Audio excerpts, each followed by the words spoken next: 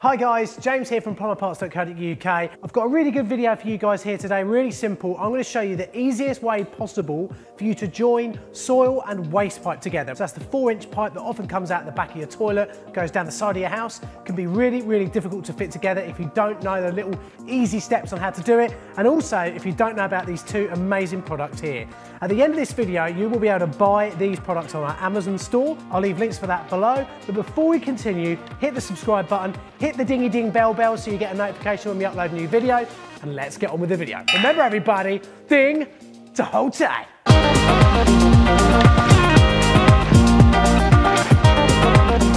The job I'm doing today is really, really simple. We've got a load of four inch pipe behind us. It's all been hacked off, hacksawed off at the ends. And what we've got to do is I've got to lay it in the trough above us all the way along there. And what I'm actually gonna do is use it as a hot air duct to duct hot air from my heater down at that end of the studio all the way down to the front door so when people coming out of the front door they get a little bit of nice warm air on them. I thought the easiest way for me to do that is to do that with a bit of four inch pipe. Can't be hard, can it? The thing is, right guys, a lot of people will get four inch pipe and they will hack it with a hacksaw, they will try to push it into sockets, they will try to push it together, and because they haven't used the right tools or they've taken no time on putting a nice chamfer on the end of the pipe, you're gonna struggle to get it together. So look, let me show you what I'm on about.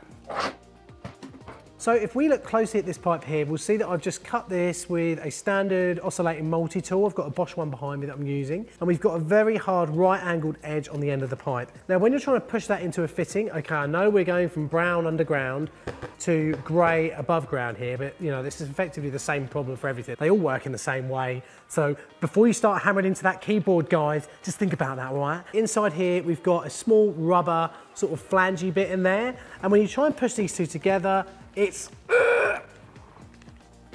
really, really difficult to do. Someone's it again.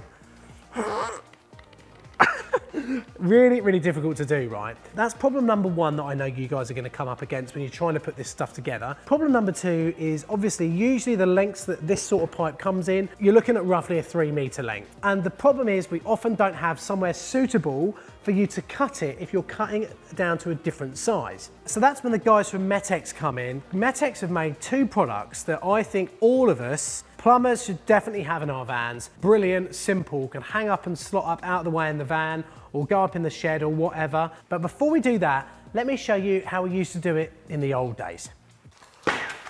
Hell yeah! Well, I guess you want to know how we do pipes together back in the day. Go on then, Western Plumber Parts. Looks like it's going to be easy. You bet it's going to be easy.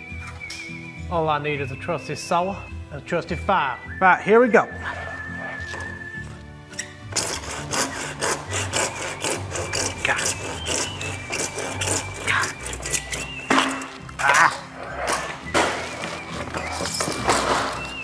Believe me, it's not an easy job.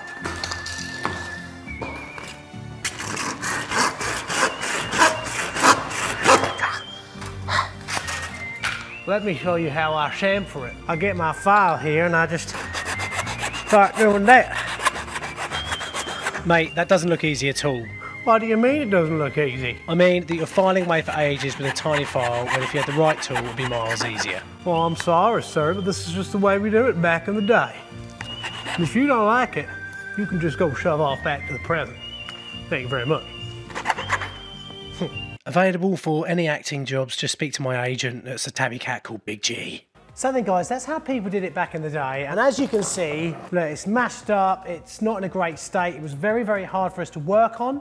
So the thing is, right, the first bit that we've got to sort out is a stable surface and a stable piece of pipe to actually work on. Now, that's when this becomes amazing. Very, very simple. And I do think all the best solutions in the world of tools not only come from necessity, but also ease of use. So all we do is pop the pipe over here, and that's it, ready for us to work on. Really, really simple, really easy. Um, the next thing, I mean, it's fairly simple. We've got the Pipe Chamf here, and it, to be honest, it's quite a handy thing to use. If you're only going to cut a small bit off, or you want to make a piece of pipe nice, you can actually use the Pipe Chamf if you just take it off your drill as a mark. So you can pop it over here, get yourself a felt tip or whatever you use to mark your pipe, pop that on there like so, And then just make sure it's nice and square, roughly square, and use that as a nice mark for us to, to get that cut. Simple now, I usually use a oscillating tool like this. You can use a hacksaw if you like, these are just quicker, um, and they're pretty good, they do a nice cut.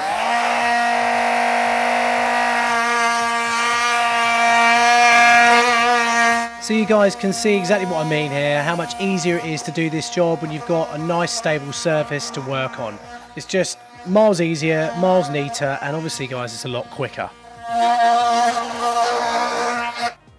And there we go, that's cut off now. So we've solved the problem there and then of how we stabilise this product, how we stabilise our pipe to actually cut it and get it on. Now the next thing we need to do is eradicate the need for us to use that file because that was really annoying. Now the Pipe Chamfs are really, really easy, simple piece to use, simple product to get working with. That's why I think it's great because the easiest ones are the simplest ones. Just bang it on your drill. You can have it on two speeds. I mean, it's up to you which speed you want to use it on.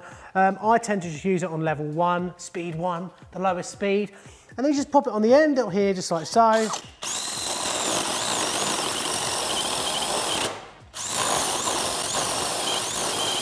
We've now made a nice little chamfer just there. So yeah, once you've got that on there, look at that. How nice is that chamfer now? Now, the proof for this sort of thing will be in the pudding. Can we just push this on like it is now? Straight away. The next thing I'd always say you should do anyway, just a little bit of fairy liquid or some sort of lubricant. It doesn't matter how good the chamfer is, this just helps. And also if you get a measurement wrong, look, just see that, I'm just running that around now. Also, if you get a measurement wrong, then it's very simple for you to pull it off and get it all going. So look, here we go. Done, boom, sorted, easy. That makes pushing together a socket for four inch or any other pipe because we can go up to 160 millimeter pipe on this with this particular beast. So look, if you want to take it off as well, easy to do, Fairy Liquid is very, very handy little beast to have. So guys, I've got to get on with getting these all taken up there now. So why don't you watch me while I get all of these pipes prepared, all their ends nicely sorted out and cut, and get on with this job.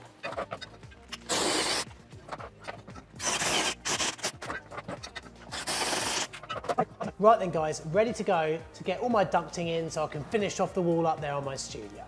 Guys, if you get a minute, please click on the link over to my vlog channel at Times with James. I do loads of random things on that video, loads of build projects from the shed, learning to fly, and also lots of history documentaries as well, and just random vlogs too.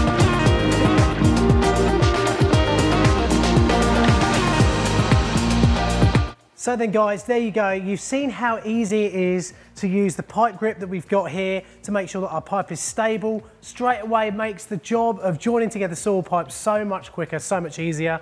And also the pipe chamfer, easy just to whack on any old drill, spin it around, get yourself a nice chamfer, You'll never ever use a file and a hacksaw again to do this particular job. It's so much easier. If you want to buy any of these guys, then go over to our Amazon store. I've left links below.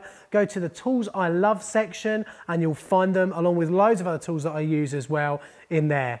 Remember, if you want to see outtakes of this video, because there are outtakes, you have to become a plumber patron over on our Patreon account. So check that out as well. By all means, remember to subscribe, click the notification button as well, click so you get a little wee tinkle on the bell when we upload a new video. And remember, everybody, to hold tight. See you soon.